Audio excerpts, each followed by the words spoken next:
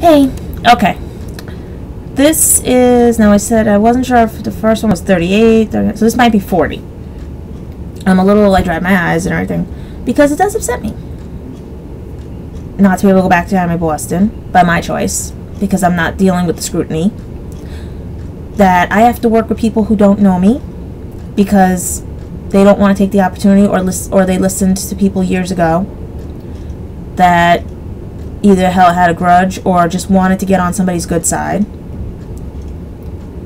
And now at school, I've got the best teachers and everything, but I'm so afraid that because of this person at my job, that I may not be able to go back to school. Because without the job, there's no way to me finish education. Because then I have to go find a job and I can't, you know what I mean? But in the long run, if anything does happen, either by this person or by the whatever ec- economy pro- problems are, who knows? Maybe I can finish my classes sooner because I'll be able to take four classes a semester and everything, or five classes, and graduate sooner. But who knows? All I know is that I'm tired of everyone stepping on me.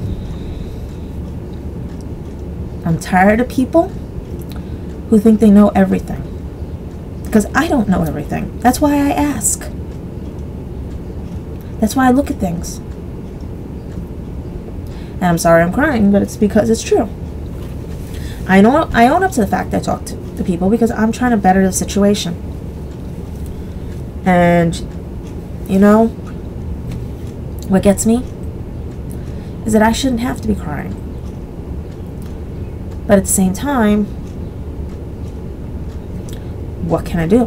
And that's why I pose that question to you people. What would you do?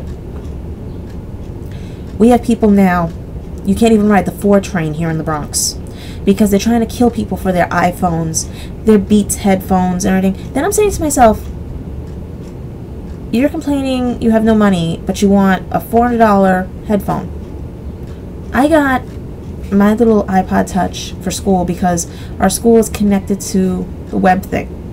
And because I can't be at a computer 24 7 at my job, I needed a way to keep in touch with my school. Cancellations, everything, because we can't even have our cell phones on the floor. We can't have anything near us to let us know because of the crackdown and everything that my boss has done. So I sit here and I figure just keep putting up with it, put up with it. Things will get better. But how much more can you put up with before you crack? As a per diem, we get no vacations, we get no time off because we have the other four days. So, yeah. But they don't realize when you have a full time job, it's actually more relaxing and more easier than having uh, per diem and part time jobs because sometimes your jobs you're working 24 hours straight like another girl i work with. And yeah it's toll taking but you know what? We do it or try to do it because there's nothing else for us. And if you've had things handed to you or given to you and you don't understand that take a day off a year off or i pray that doesn't happen to you but when you lose your money see what it's like to live like the other half. I mean, this undercover boss thing, yeah, it's funny on TV and stuff and all that. But I don't know how much of it is true or not that they know what we go through. Most people figure, oh, it's four days off. No, it's not. I, if I, before I didn't go back to school, I was working as a waitress, and those would be overnights, everything except before my knee got injured and everything. Before we found out I have a lump in my knee, that's a cancerous lump. You know, and I have no car, so I was limited to where I was working. They think you have, oh, you can do everything you want and everything. No.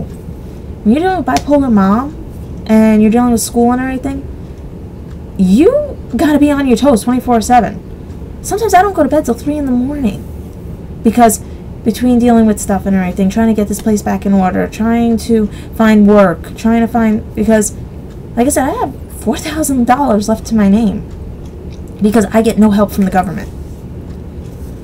I don't know where my next paycheck, you know what I mean? Because Who knows what this economy is going to do? But I don't let it get to me. I just am upset because to hear I'm overqualified. Also, I'm happy that I'm almost done with something that took almost 20 years. 20 years to get because it was taken away from me an education.